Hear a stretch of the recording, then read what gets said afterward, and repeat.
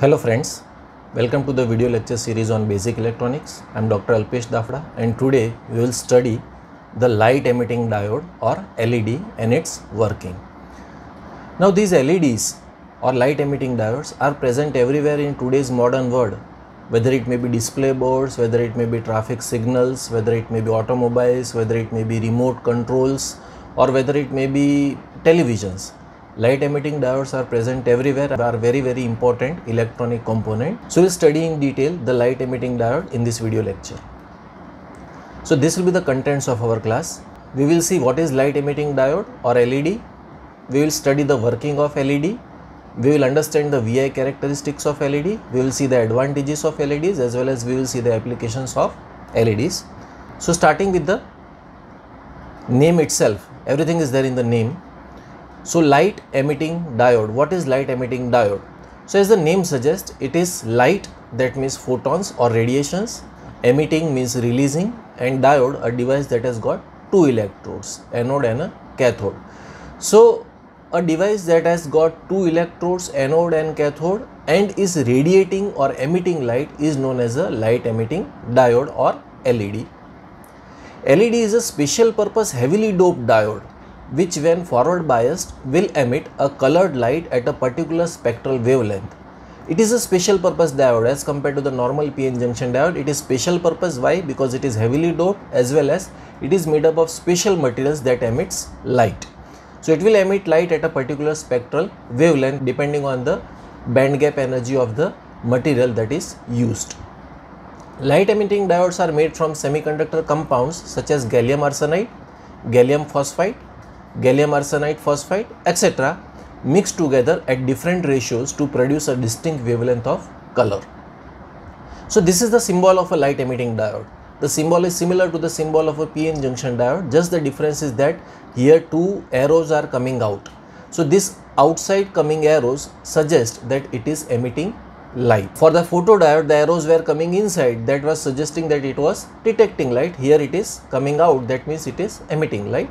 This is how actual LED looks like. So the longer lead is known as the anode, the shorter lead is known as the cathode and the cathode is towards the flat side of a LED. The whole LED is round, from one side it is flat and that flat side is a cathode. These are different colors of LED and many other colors LEDs are also available in the market. So let us understand the working of a light emitting diode. So remember the light emitting diode works in the forward bias condition. So you know that when a p type material, this is a p type material which has got holes as the majority charge carriers. This is an n type material which has got electrons as the majority charge carriers. Whenever a p-n junction is formed, there will be a depletion layer that will be formed. But when you forward bias the diode, what will happen that these holes will be repelled by the positive terminal of the battery and these electrons which are present on the n side as the majority carriers will be repelled by the negative terminal of the battery and hence the depletion layer will go away. So when the depletion layer goes away what happens that the electrons from n side falls into the holes in the p side. So when the electrons falls into the holes of p side it will release some energy and that energy is released in the form of light for a light emitting diode. So you can see this is the conduction band in which there are conduction electrons or free electrons and this is the valence band in which there are holes right. So when this conduction band electrons will fall into the holes it will release some light of energy E. See how this happens? Let us take one example say this is one atom this is the nucleus of an atom right and this is the valence shell of the atom right now in this valence shell there is one electron in this valence shell there is one electron. So currently this this electron is not free electron right? When some energy is given to this electron this electron will jump out of the valence shell and become a free electron. So currently say this electron in the valence shell is having energy x right? And when it will jump out of the valence shell and become the conduction electron or free electron it will be having energy say 2x let us say for example right? So in the energy band diagram is like this. This is energy. E this is valence band and this is say conduction band. Now the electron in this conduction band has energy 2x. So when this electron will recombine with the hole present in the valence band or take the position in the valence band, it will again become an electron having energy x. And some energy is released which it had taken while going from the valence band to the conduction band. This energy is E which is equal to hv. Now if you use some specific materials such as gallium arsenide, gallium arsenide phosphide, then this energy will be emitted in the form of light. For the normal diode, uh, which is made up of silicon and germanium, this energy is emitted in the form of heat. Getting it? Right? So, this is how the LED works. So, LED works on the principle of electroluminescence. As the name suggests, electroluminescence. Luminescence means emit light without heating and electro means when electric current is applied to it. So, whenever electric current is applied, it will emit light. So, it emits light when electric current is applied to it. So, band to band recombination is the main mechanism inside an light emitting diode. When an electron in the conduction band meets a hole in the valence band, it falls to a lower energy level or valence band and releases energy in the form of photon. So for normal PN junction diode, the recombination takes place releasing energy in the form of heat. Whereas for light emitting diodes, the recombination takes place releasing the energy in the form of light. Let us see the VI characteristics of a light emitting diode, right? So this light emitting diode will be operating in the forward bias condition as shown here, right? So we will be taking the forward characteristics so the forward voltage for different colors of LEDs ranges from 1.2 volts to 3.6 volts and the current ranges from 10 milliampere to 30 milliampere. The normal value of current is approximately 20 milliampere as shown over here. Normal value is 20 milliamperes. Now depending on the band gap, depending on this EG forbidden energy gap of a material different colors of light will be emitted. So, the forward voltage will also be similar to it getting it right. So, if the forward voltage is lower approximately 1.9 volts it will emit a red light that means it is having a band gap energy of 1.9 electron volt. Similarly if it is higher then it will be emitting a blue light that means blue light is having a higher band gap or larger band gap as compared to the red light. So, all the lights below red which are not visible are known as infrared. Infra means below and red means red color. So, see we all know there are 7 different colors VI, BG, YOR for a rainbow. So, below R is infrared and above violet is ultraviolet light therefore, it is called ultraviolet. Now, if this E is larger, okay, then the V will be larger or frequency will be larger. So, if this energy is lower, obviously the frequency will be lower, right. So, lower means if E is lower and V is lower, it means red light, infrared light, etc. If E is larger and V is larger, that means blue light, ultraviolet light, etc. Right. So, Eg band gap energy which is equal to E will decide the light color right Eg is equal to E will decide the light color getting it right let us take one example of say red light or red LED okay so red LED red LED is having a wavelength of lambda is equal to 650 nanometer and let us find out the EG the band gap energy for this red LED and hence the forward voltage you can say for this red LED right. Now we know that E is equal to HV where H is Planck's constant and V is the frequency which is further equal to HC by lambda HC by lambda. Why? Since C is equal to lambda F C is equal to lambda F or you can say lambda V right? F is nothing but v frequency right? So c is equal to lambda v which is equal to lambda v. And hence V is equal to V is equal to C by lambda okay? So see here I have replaced V by I have replaced this V by C by lambda. So let's go ahead and replace the values of Hc and lambda. What is the value of H? Planck's constant. It is 6.623 into 10 raised to minus 34 6.623 into 10 raised to minus 34 what is c the velocity of light 3 into 10 raised to 8 meters per second right? Upon what is the lambda of red light?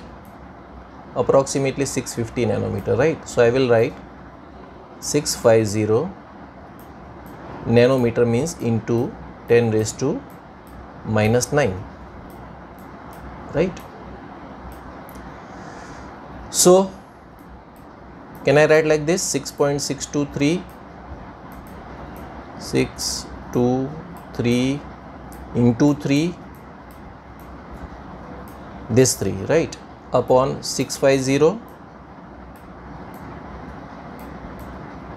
this 650 into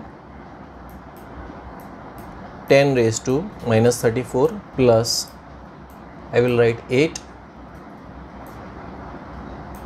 plus I will write 9 why? Because this is minus 9 in the denominator. When it will go in the numerator it will become plus 9 okay? So let us solve this. 6.623 into 3 divided by 650 so the answer is 0. 0 3 0 5 6 into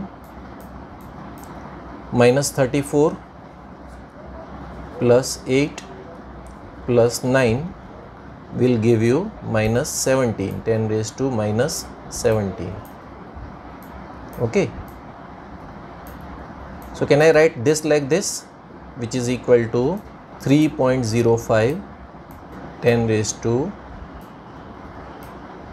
minus 19 okay what I have done? I have shifted the point here from 030 to 3.05 so I have written 3.05 I have shifted two digits two decimal points. So I will write here 10 raised to minus 19 right? Now we know elementary charge of E is 1.602 1.602 into 10 raised to minus 19 so I will divide this by 1.602 into 10 raised to minus 19 so I will divide this 3.05 into 10 raised to 19 by 1.602 into 10 raised to 19 and what I am getting? Let us divide it 3.05 divided by 1.602 which gives 1.9038 okay or you can just write 1.90 electron volt right? So this is the band gap energy. 1.90 1.90 electron volt is the band gap energy for red light LED which is having a wavelength of approximately 650 nanometer okay? 1.90 electron volt. So EG for red light will be equal to 1.90 electron volt. Same will be the forward voltage for the red light LED why? Because that voltage must be exceeded right? So here you can find out. This is red light okay? And you can if you just draw line you will find out that it is 1.90 volt getting it so the color of the led depends on the band gap eg of particular material or particular led The band gap of an LED can be determined by the voltage drop across an LED. This voltage can be converted to EV by simply multiplying by the charge of one electron E. For example, if the voltage is measured to be 1.7 volt, the band gap energy would be 1.7 electron volt, right? See this band gap energy, this EG will be 1.7 for red light LED it is 1.9 so the voltage across the LED corresponds to the value of the band gap energy. The energy of the emitted photon is given by E is equal to HF or HV okay which is equal to HC by lambda as we have just seen where H is Planck's constant as we all know 6.623 into 10 raised to minus 34 meter square kg per second c is the speed of light which is equal to 3 into 10 raised to 8 meters per second f is the frequency and lambda is the wavelength of radiation so depending on this wavelength of radiation, different lights will be emitted. See this table shows the wavelengths of light spectrum for different LED colors along with possible semiconductors used. So you can see here red light, it is approximately 650 nanometer, it is ranging in between 625 to 760 nanometer and the semiconductors which are used are aluminum, gallium arsenide for red light. Similarly for orange light, the wavelength range is 600 nanometer to 625 nanometer and the materials used are gallium arsenide phosphide. So depending on these different materials, there can be other recombinations also, other proportions also in which we can get different lights. Of course, the infrared light which is ranging from 800 to 980 nanometer which is uh, using indium gallium arsenide is not visible because it is infrared. Similarly, ultraviolet which is having a wavelength range of 240 nanometers to 360 nanometers which is made up of aluminum gallium nitride is also not visible. The visible light range ranges from red light to violet light. So below red that is infrared we cannot see and above violet ultraviolet that is also not visible to our eyes. Let us see the advantages of LEDs. LEDs are very small in size and are lightweight. They can withstand shock and vibrations as are very rigid in construction. They are very strong, very rigid. They will not uh, damage easily. They have got a very long lifetime of around 20 years. They have got a very low response time and very fast in operation. As soon as you apply current, the LED will glow. It will not take any heating time. Very small voltage and current are required for its operation. You can see here. The voltage and current required okay are very small. 1.2 volt to 3.6 volt and 10 milliampere to 30 milliamperes which are very small values. Also led does not need any heating and warm up time like the mercury lamps or normal lamps or nixie tubes it will not be heating up and it will not take any time so it will not be emitting heat also and it will not be taking any extra time. So all these are advantages of light emitting diodes. Finally, let us see the applications of light emitting diodes.